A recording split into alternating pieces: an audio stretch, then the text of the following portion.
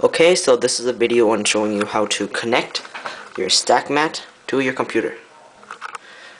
The first thing you'll need to do is to buy two things. One, a audio jack cable on both sides, stereo jack cable, sorry, 3.5 millimeter both sides. The other one is this thing. It is a 3.5 millimeter to 2.5 millimeter um, adapter. 3.5 millimeter goes in here, 2.5 millimeters right here, and the 2.5 millimeter goes in there. Okay, so I got my tripod, so now it's easier. So we need the audio cable jack and this. The first step is to put this into here. So it's connected. The second step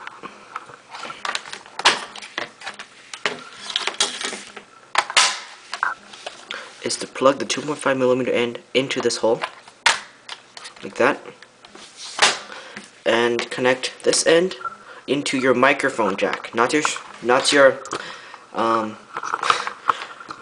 not your um speaker jack your microphone jack. The microphone jack is indicated by a pink circle and this earphone wherever is the green circle. Plug it into the pink one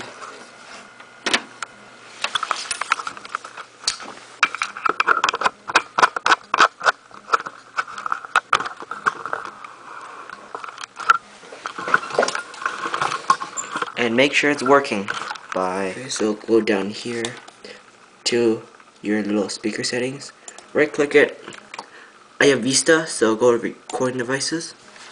And in the microphone thing you should see working with the check mark and the bar level. When you turn the stack mat on it should go all the way up. When turn off it should gradually go down. So now you know it's working. Close that and you'll need to download a program called C. Just a second. CCT like timer. To do that, the link will be in the description to download it. Make sure to download the latest version, but it's on the website. So after you've done that, you should have a zip file. Extract it, and you should have a file that says this. Double click it, and open the thing that says Calcube timer. Double click it should see something like this pop up. Now, if you're already installed and you're using the keyboard, go to options, go to keyboard timer, make sure the use keyboard timer is not clicked, not checked off. So first go to file, go to configuration. Make sure you go to the four stack mat settings, go to one options, so go to Hmm. Oh, yeah. Don't go to one options, go to four stack mat settings. The four is like FOR. Now, you'll see this, the set stack mat value. Don't touch that at first. I don't know what does. Now, you'll see it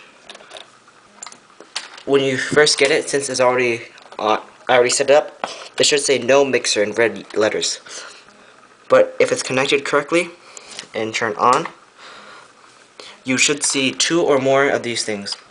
Like mixer 2, 0, 1, 2, 3. You should see two of them that you're clickable. Experiment with which one works the best and click apply. Then you can test it out. Green light.